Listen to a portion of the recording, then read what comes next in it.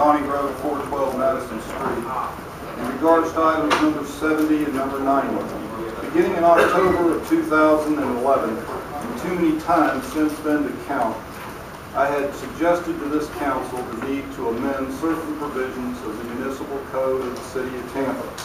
I further suggested that you begin then, start early, and not wait unnecessarily or indefinitely for input from the CIA, the Secret Service, or Carmen Sandiego. Instead, you chose to wait, do nothing, and now this morning you have for first reading before you a, a proposal that almost does not rise to the level of being unacceptable.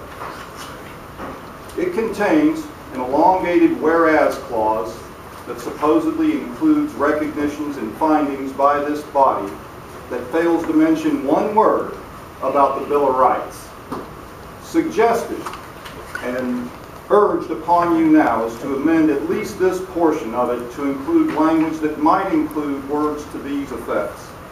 Whereas it is the policy of the city of Tampa, its government, its people, its employers, and their employees that the rights of free speech, assembly, and expression are among those most cherished, frequently exercised, and dearly held by citizens of this city, the state of Florida, and the United States. Semicolon, next layer of baloney. Whereas the demonstration and enforcement of this policy does benefit and should be witnessed by persons attending the convention, persons engaged in nearby activities surrounding the convention, as well as others who will witness these events from afar from, through various means of media services such as television, radio, print media, and internet discussion forums. Semicolon, and then so on with the baloney that you already have in there. By omission, inadvertence, and neglect, the city has accidentally revealed its true intentions and focus. This is about money, this is about privilege, and contrary to the mayor's hollow and meaningless statements to the contrary, it is about business as usual at City Hall. The proposed ordinance in its current form is a downgrade from previous administrations.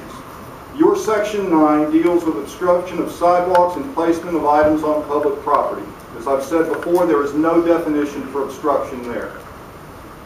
There's a no mask provision in this proposal. However, under the, the, the current status of this thing, the mayor will be wearing his Richard Dick Daley mask, the chief of police will be wearing her Bull Connor mask, and each of you will be wearing a dunce cap.